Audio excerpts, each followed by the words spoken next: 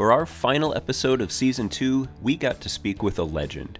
Ed Iskenderian made his mark at the birth of hot rodding and has been shaping its course ever since. My cam would actually pass cars on the track and work your way up to the front. It had more torque or mid range. And that, I discovered that by accident. And actually, I found out the industry needed me. I, I was actually needed, much to my surprise. Isky just turned 100 years old. In the days leading up to our recording, he had traveled from Los Angeles, spent the weekend riding along in a few early hot rods through the Nebraska backroads, and that morning he toured the dyno shop to watch some early banger powered speedsters get tested and tuned.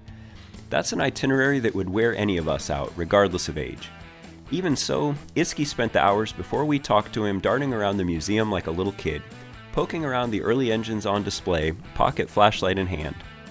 Isky came to visit us during the Speedster reunion at the Museum of American Speed and was kind enough to give an interview in front of a live audience. Museum curator Tim Matthews conducted the interview, and we're proud to bring you excerpts from the conversation that followed. I guess to kind of get us started, I kind of want to go all the way back to the beginning. So if it's 2021, you were born in 1921. Tell us a little bit about your, your young years. I was born on a farm in uh, Cutler, California, near Fresno. My dad had a vineyard he put a down payment on, and but he got frosted right away, uh, and there won't be a crap. So he gave up and came to Los Angeles. He was a blacksmith in the old country, but evidently uh, plenty of blacksmiths were uh, migrating at that time, and he had to sh- learn the shoe repair trade. And uh, he sold uh, used and new shoes, uh, uh, mismatched shoes and stuff. He'd get deals on. So anyway, he tried to get me interested in a shoe shop, but, but I'd already discovered these uh, gal jobs that uh, was, there was two in my neighborhood, and I thought there's only two in the whole world. And we found out no, if you want to see a lot of them, uh, come up to uh, Muroc Dry Lake several times a year. They have speed trials for top speed there. And man, that was fun to be up there because a hundred cars were in line from all different parts of California and maybe Oregon or nearby states, uh, running for top speed on these dry lakes, which are which you get a little wet and water on them in the wintertime, but they dry up and they're flat as a pancake. And the best one was Muroc Dry Lake, which the co- government took away from us uh, from Edwards Air Force Base.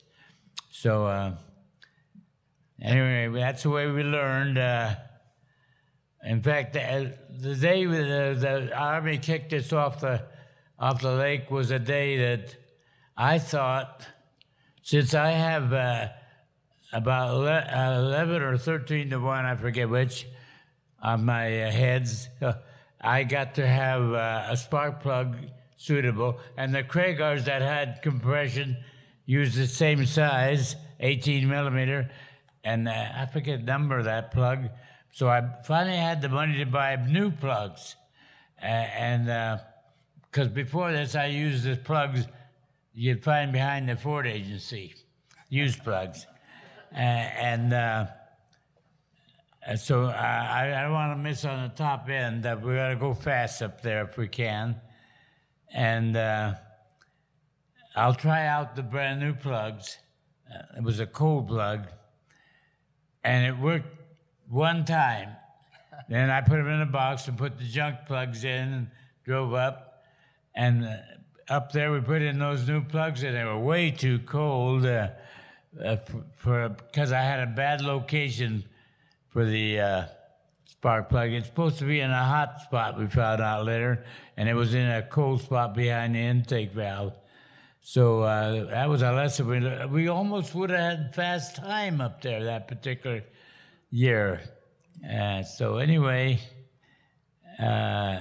uh, we learn from the older guys. That's the way I learned. Can you remember, Ed, any of those early guys that really had an influence on you? I will talk about Ed Winfield in a minute, yeah. but some of those old hot rodders? Well, Winfield was, of course, was uh, unapproachable. It seemed like to us, and but finally, someone did go to see him and buy a cam, and came back with uh, information, technical information.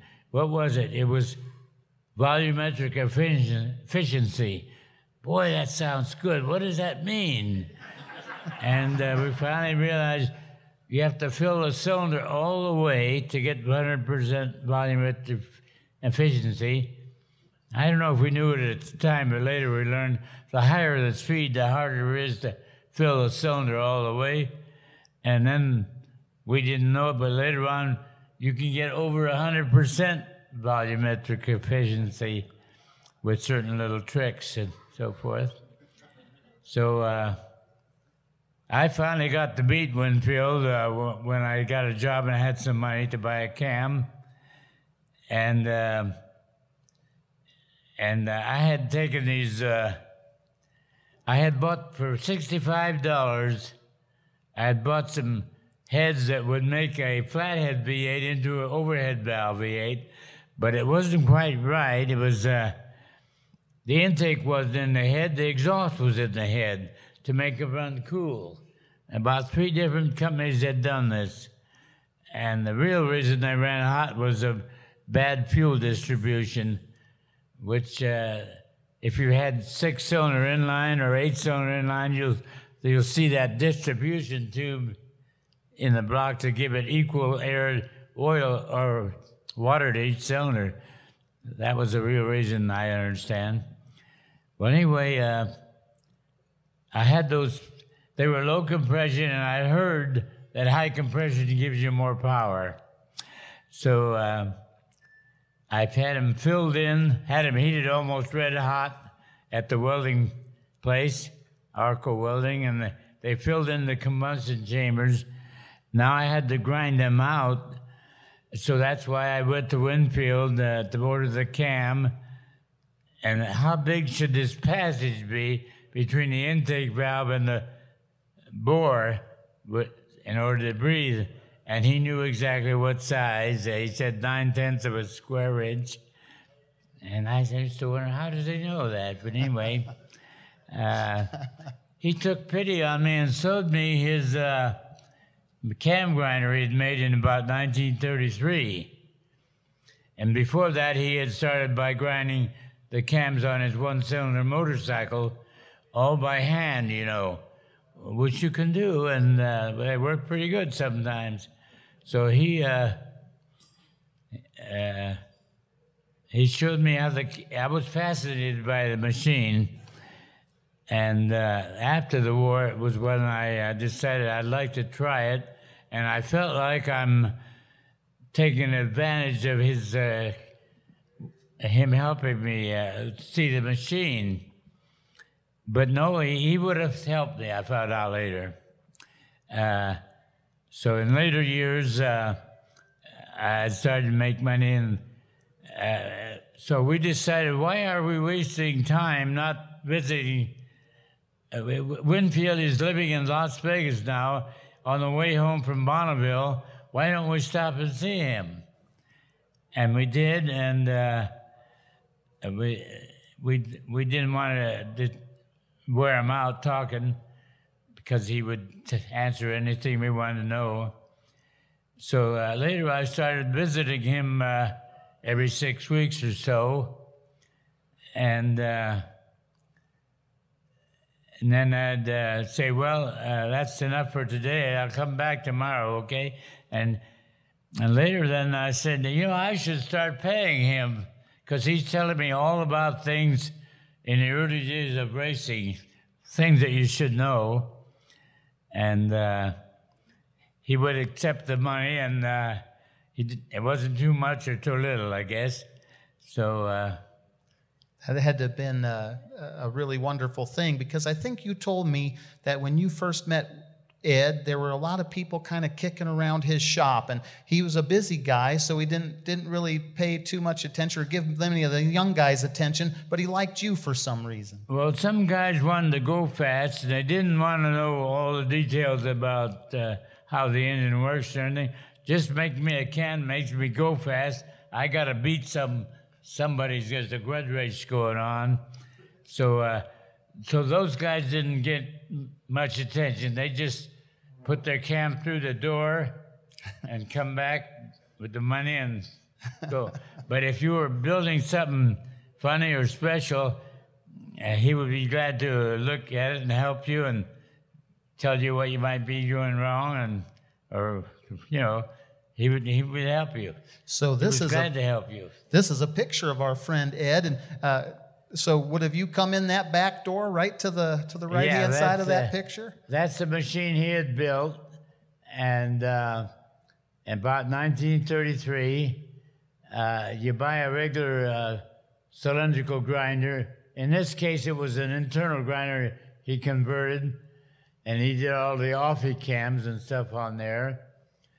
Well, after the when the war started, he had so many orders. After the war, this is, he had so many orders uh, he couldn't fill them. This machine wasn't fast enough, so he bought a, a, a brand new machine from Landis for about fifteen thousand dollars that ran automatically, and it's the same cam, the same grinder the cam the factory uses to make cams, and it would make a cam maybe in about three or four minutes.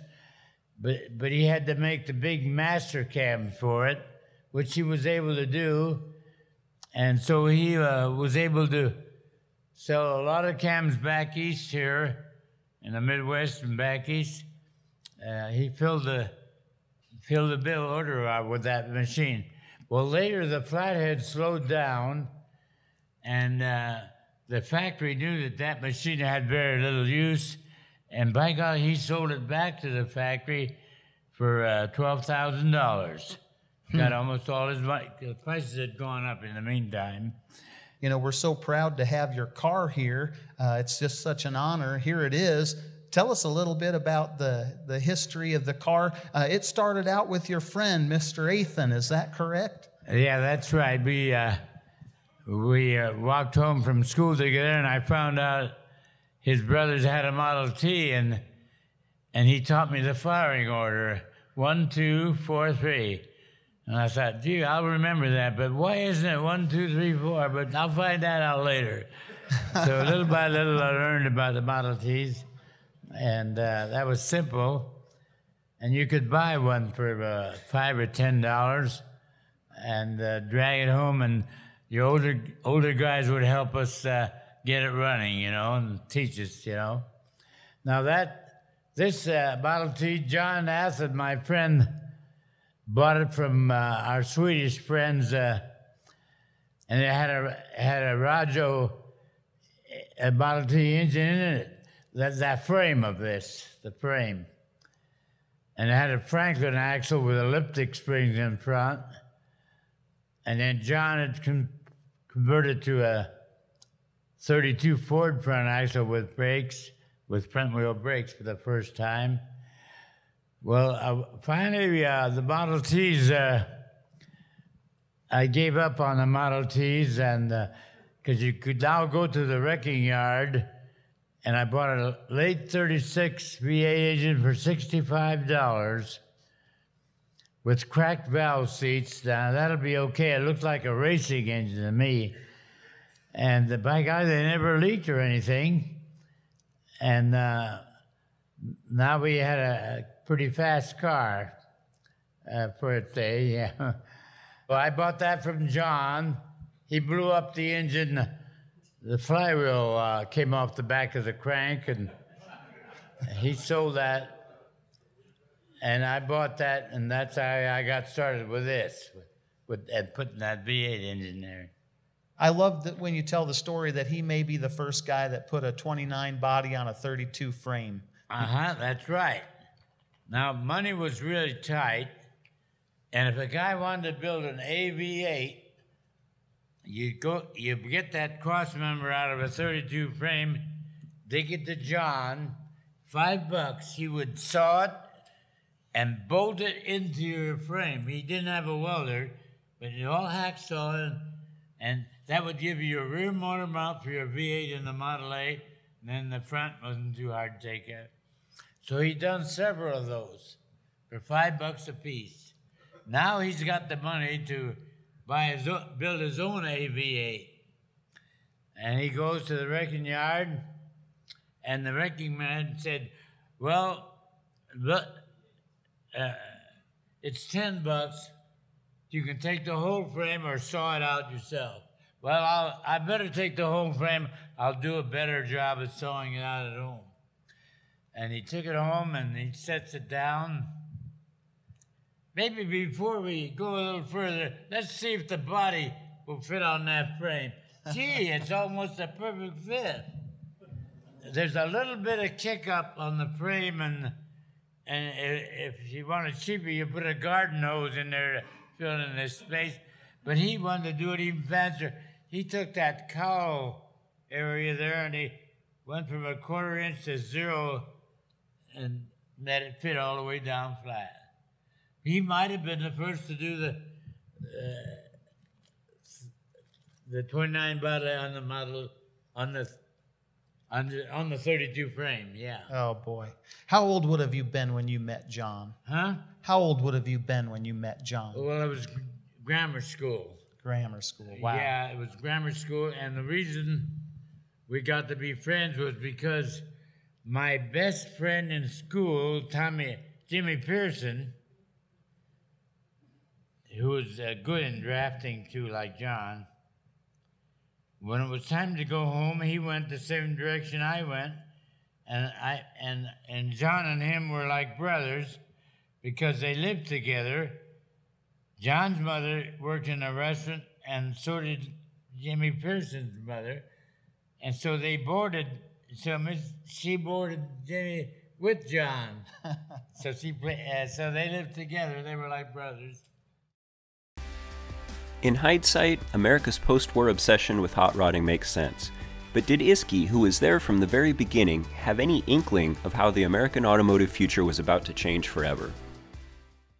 Yeah, I think before the war, it would be hard to make a living making speed parts.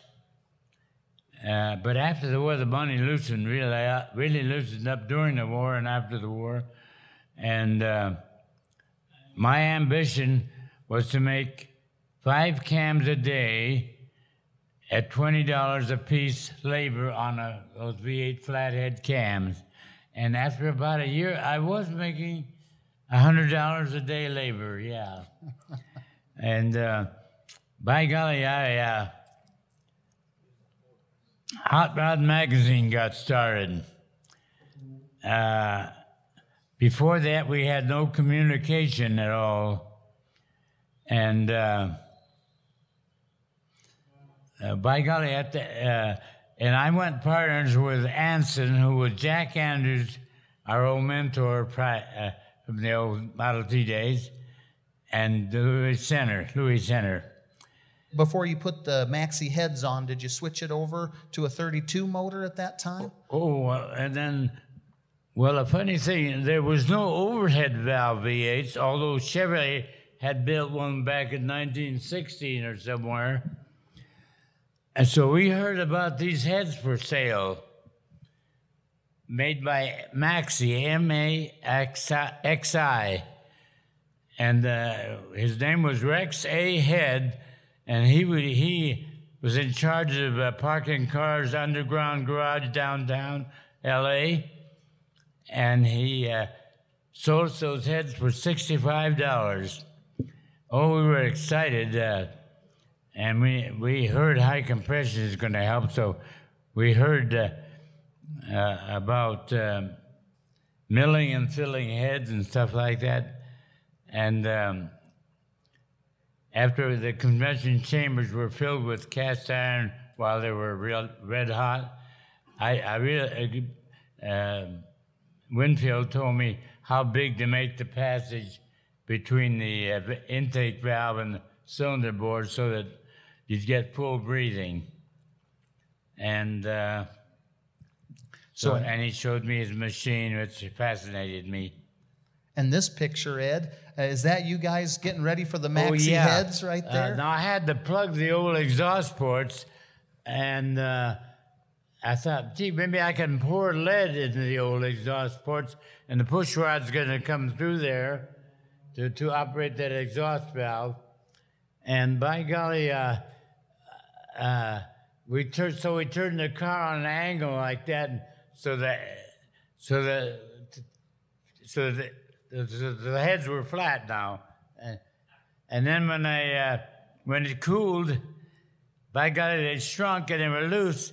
But that found out by hitting them with a hammer, they swelled up again. and you know, I needed a special head gasket, but I used a flathead gasket and bought some material that's like gasket material, and it filled in the old spot, and it worked pretty good for a while.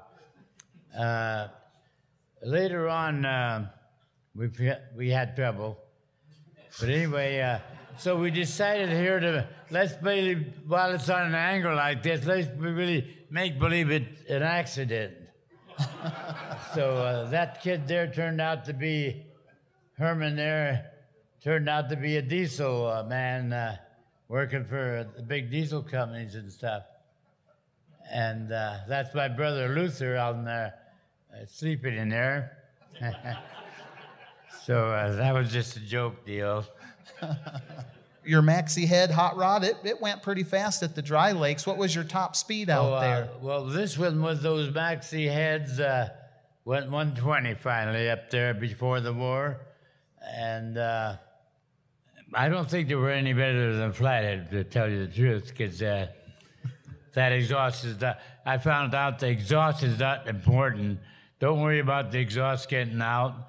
You don't have to have uh, more lot, more timing on your exhaust or all that stuff. It gets out, and they, and I, like Winfield, I told him one day, you know, on the dyno, we found that a small block Chevy, uh, they're uh, headers, but they they come together for four inches. Uh, but and if we run it that way and don't put a 20 inch extension on there, we lost 10 or 15, uh, 15 or 20 horsepower. Yes, you always need a little back pressure. Oh, really? Yeah, yeah. I, I think we're calling it back pressure uh, for simplicity, but it's evidently a lot more com- complicated than that. But uh, in a lot of cases, you'll find that uh, uh, the neighbors complain about the noise at the racetrack, and they have to put on mufflers, and they go faster uh, sometimes. Even the Camfather had to start somewhere. And back in his day, information on cam grinding was scarce. So how did Isky figure it all out? I built that machine uh, after the war because uh, I'm from mach- apprentice machinery, mach- apprentice uh, machines pop experience, and I got to make the master cam to try out the machine. So I look in the book, and it says you have to have a clearance ramp. I'm going to leave that off because I just want to make the machine run. I, I want to see it run, to work, and go back and forth. And uh, uh, so I made a fast action cam, and by golly, uh, a kid in the neighborhood was building his first V8, and I had built something before, so I helped him, and he bought a cam. And when he got it running, I could hear it coming from a half a block away, the tappet noise. Boy, I was ashamed of that. But it's the only cam I had right now, but I'm, I'm trying to sell them. If you went to a speed shop to try and sell your cams, you couldn't know anything about cams because you're just a kid that races at the dry lakes. You couldn't know anything about cams. It's, it seemed like you had to have a reputation. But but Ansen there, they they were they were bold. They would sell them anyway, and uh, and I didn't know I had and I had some, but I didn't know it. So uh, I had that noisy. Don't forget that was noisy, but it gave me on a flathead that really works good. And uh, so a guy was building a boat called Scheming Demon, a flathead, flat bottom boat. And uh, I think I gave him the cam free. And when uh, Jack Andrews got it running, he was hitting the throttle and the drive shaft disconnected, and it's got a light flywheel and stuff. And he's goosing it and running it, and it's peppy, you know. And, oh, this thing's really hot. My cam is in there. And my cam is good. You like really? Can you really tell? Uh, it's in neutral and uh, it, there's no drive shaft, no weight. But he he knew flatheads because that's what he was running now, and uh, and then NASCAR called. And it wasn't the hottest team or the most experienced team in NASCAR. They're running flathead Ford V8s, and the bodies are usually 37, 38 uh, year flatheads, and they're running on dirt tracks. And uh, they called and heard if they went to California and bought a cam, uh, that would help them go faster. And they didn't know the simple terms we had of semi, three quarter, full, and super. And then this one I called the track guy because it was so noisy. It was only good for the track. so, uh, so they uh, they called up and bought two cams by airmail at 20 bucks a piece. And I said, Do you want those on good used cores, which are $2 a piece? Oh, no, we want new cores. Well, they're $7 a piece new. Oh, that's what we want. Oh, boy, these are high rollers uh, back here. Back here. and, you know, they. Uh, this was not a hot team uh, with a lot of experience, but evidently they went better than they ever went before. And some of the other teams found out what the, where they had got the cam, and and I got more orders. And and and later on, Bob Osiecki came from back east here, and he told me why they were ordering my cam would actually pass cars on the track and work your way up to the front. It had more torque or mid range. And that, I discovered that's by accident. and then, so the, and actually I found out the industry needed me. I, I was actually needed, much to my surprise, because all I wanted to do was make $100 a day. that's,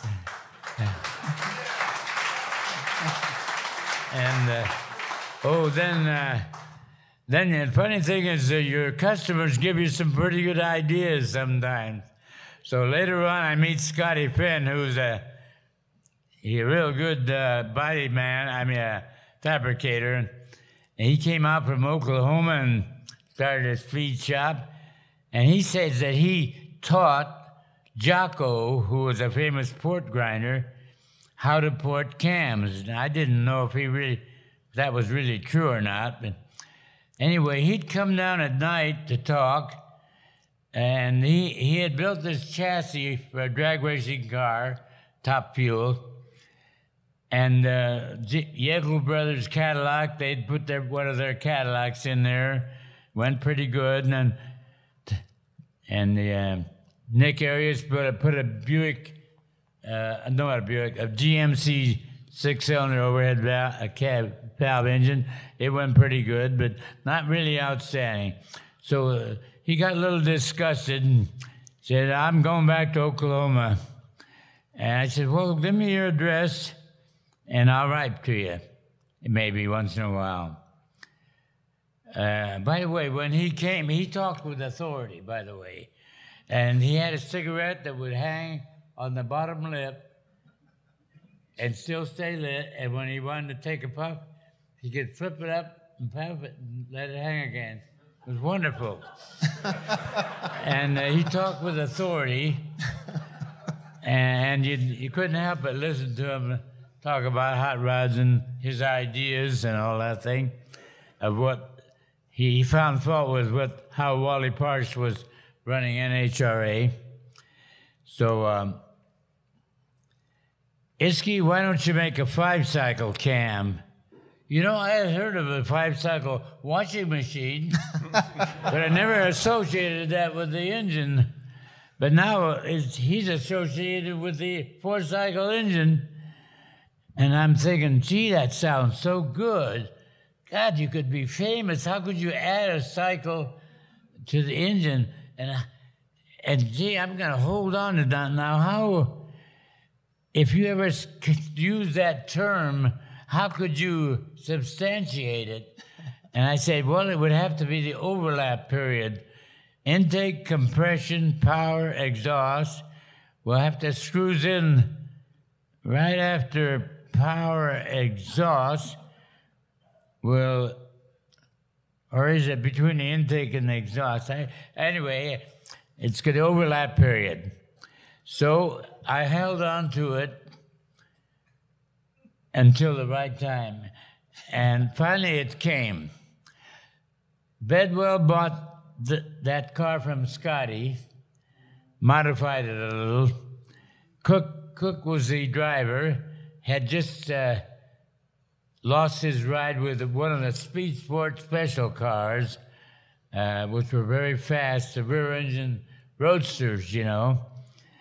And they were on the right track because all they had to do was extend the wheelbase out further, and, and that was the new dragsters.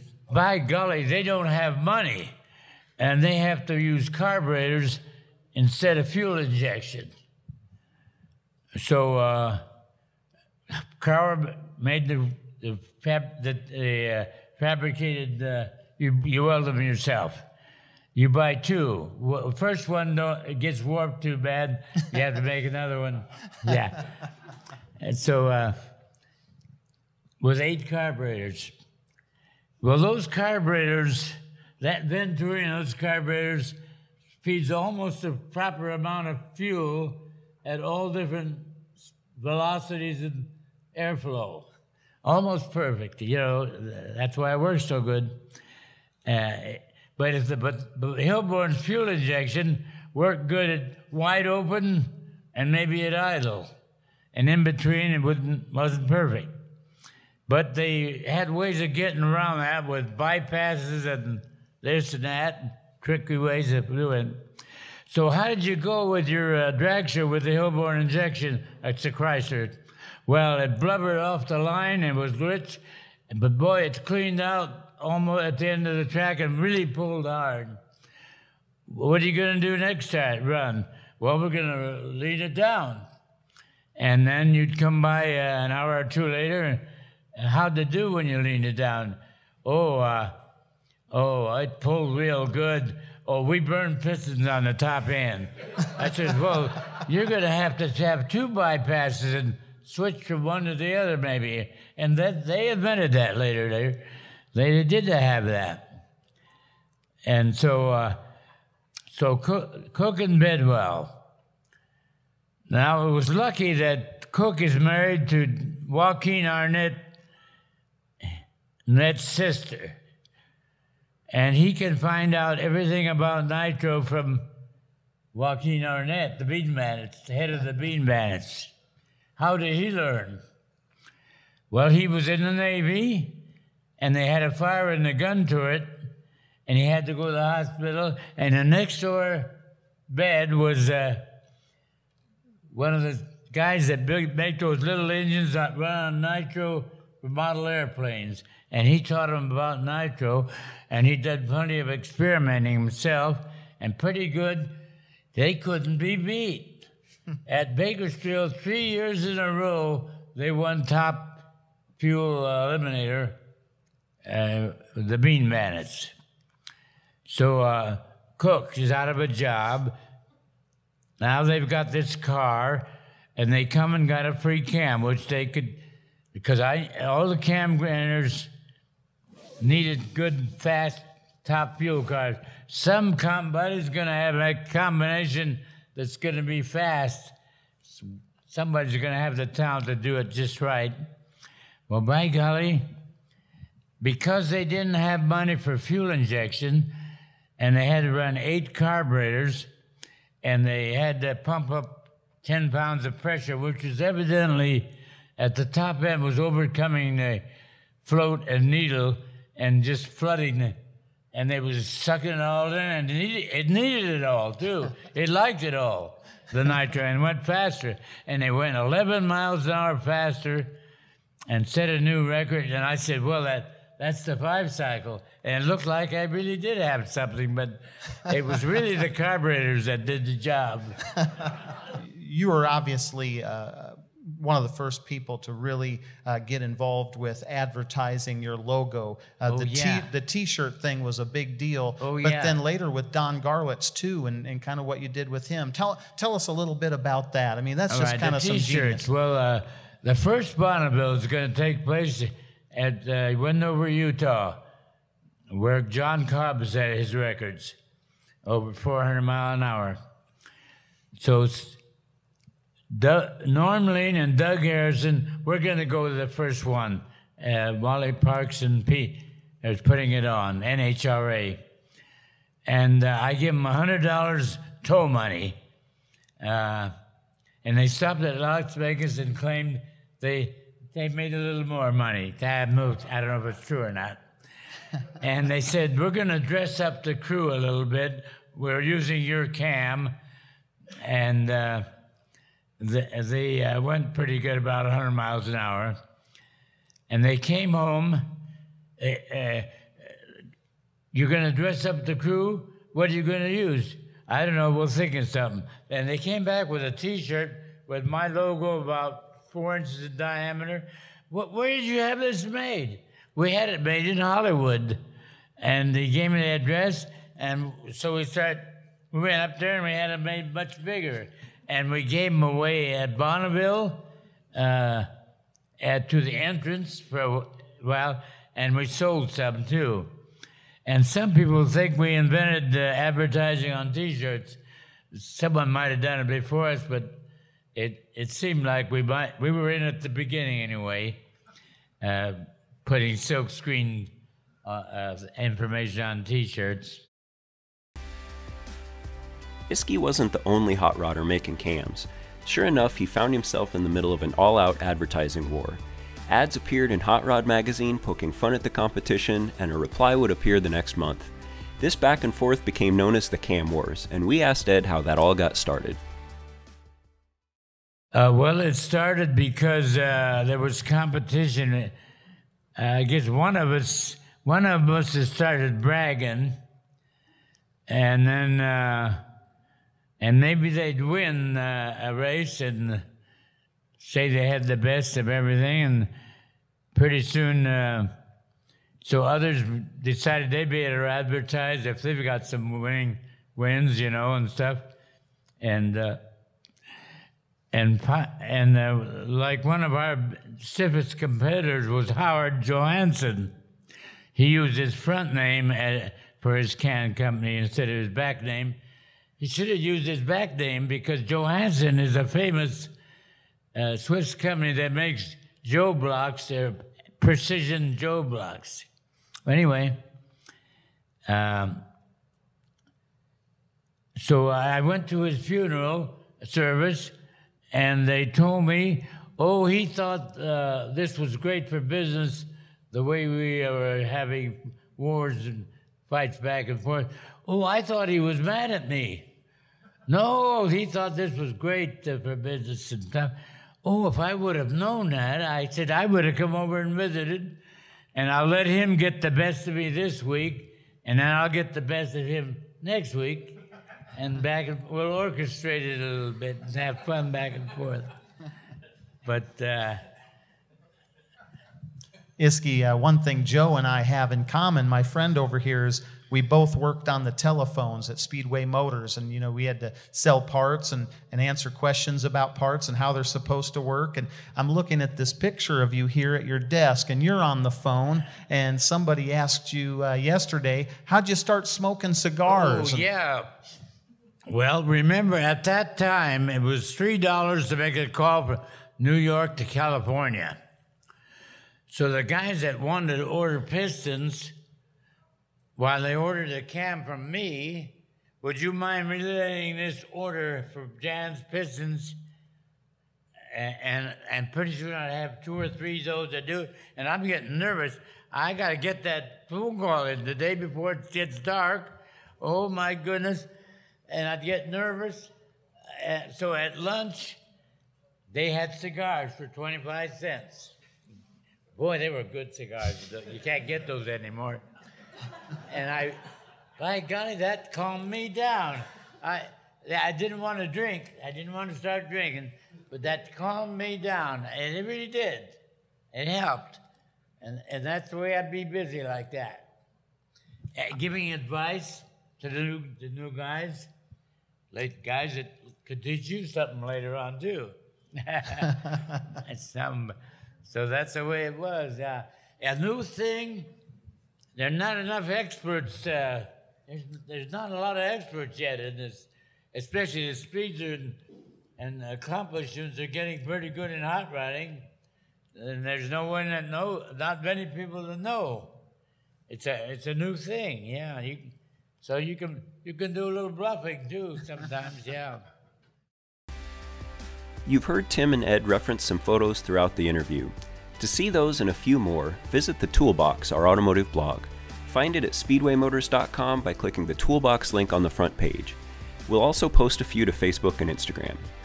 Thanks for listening to What Moves You, and if you like what you hear, tell a friend to find us on Spotify, Apple Podcasts, and anywhere else you listen to podcasts. Well, you know, I, I don't want to go too much longer, but before, you know, we kind of start wrapping up, I wanted to talk a little bit about your car being here in Nebraska and having it here at the Museum of American Speed. You know, your relationship with us goes back quite a long way. And I remember your first visit to the museum here. That would have been what, about seven, six or seven years ago uh, that you visited the museum with Doug yeah, the last time? Yeah, that's right. Yeah. And, uh, what what what's your takeaway of the museum? You know, it obviously means a oh, lot to us. But wonderful. I I just can't believe the things I'll never would have got to see if I hadn't uh, if you had, if Bill hadn't collected these things uh, and went out of his way to get them. Boy, uh,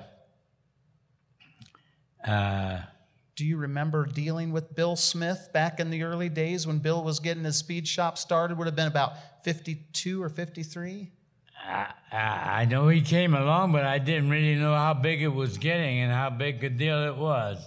Yeah. And I'd meet him at these uh, SEMA shows and PRI shows, and and I got a wonderful picture where uh, you guys sent me Carroll Shelby and Bill Smith and me and my head's in the picture too. I couldn't yeah, believe well, you know, we we took some time before we cleaned out Bill's office, and that picture was on Bill's desk. And Clay Smith brought it over, and he said, "You just got to send this to Isky. I bet he'll really like it." And I sure really enough, did. it was, I couldn't uh, believe it existed. there yeah. you were, and you know, so you know, the very first thing that we talked to you about was was Ed Winfield's cam grinder, which you you were smart enough to to get uh, the cam grinder that was in the picture. And and was that after Ed had passed away that that you were able to get that? Was that at his uh, sale that they Yeah. sold that? Well, uh, now we were. Visit- I was visiting uh, Winfield as often as I could,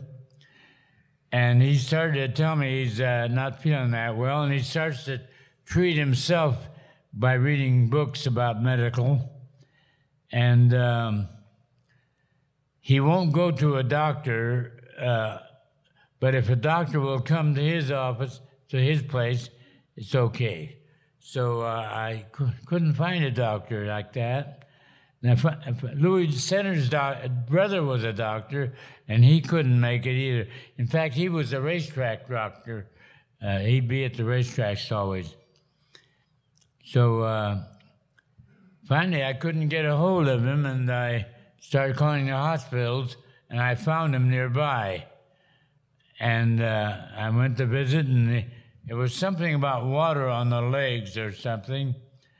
And I didn't think it was serious, but the doctor seemed to think it was serious. And uh,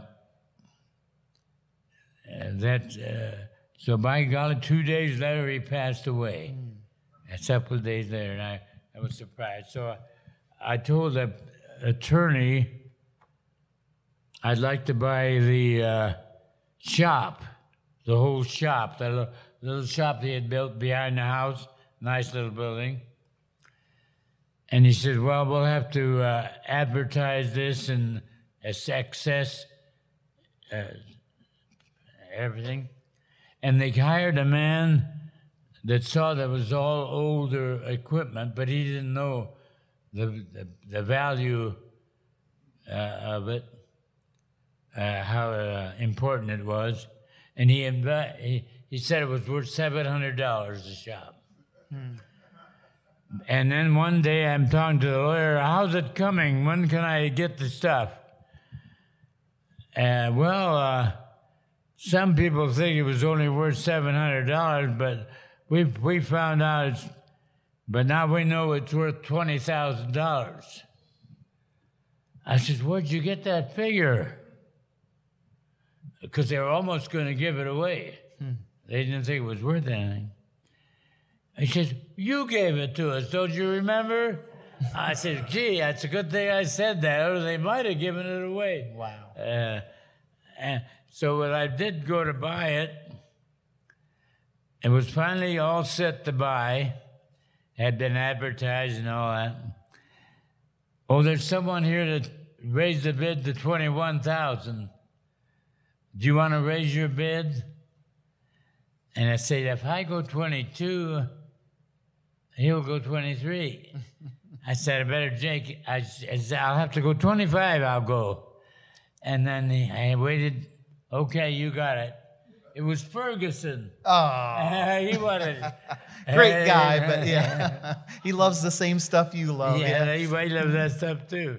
He was a good friends too with Winfield. Yeah.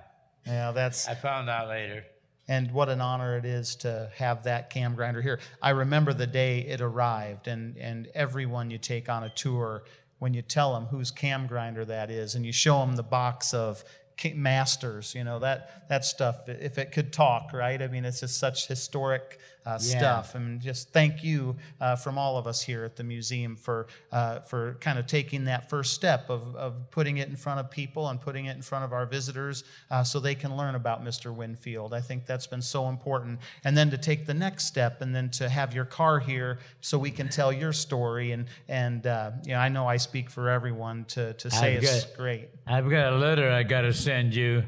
It's from a famous race driver of the old days. I can't think of which, which, which pavement street driver, and he writes in a letter to Winfield, I don't want, I want kind of soft action. I don't want valve float. And what he's, Winfield, that's the way he made him. He, he the wood rev way high because he had gentle, very gentle cams, and, and he would ne- never have any valve float. He, he, he's asking him to make these cams this way, that's his specialty. That's really his specialty. Ed, is there any parting words you would say to our crowd? Uh, any uh, words of wisdom or things about you that maybe they don't already know about well, you? Well, uh, I'm lucky I've found this hobby, which is so much fun, and such wonderful people are into these cars. They must have been in horse and buggies in the old days. Uh, we got to look into that and see if the horse and buggy guys had meetings together like this. They must have because uh, they would love their horse or would love their, and they dress up their buggies, something like the Rose Parade. But the thing uh, the, that was great about it is you learn from the older fellas, uh, and they always seem to be glad to help you. And pretty soon you can help the new guys after you've learned a little bit. And uh, I kind of thought it over one time. I said, you know, some of the guys you might help when they don't know anything, but they got talent, they might go uh, go far in this uh, uh business or uh, hobby uh, in the future, you know. So it, so you don't. Have, and I noticed you in the beginning, uh, it's good to learn as you go along, and, and you might stumble onto something good.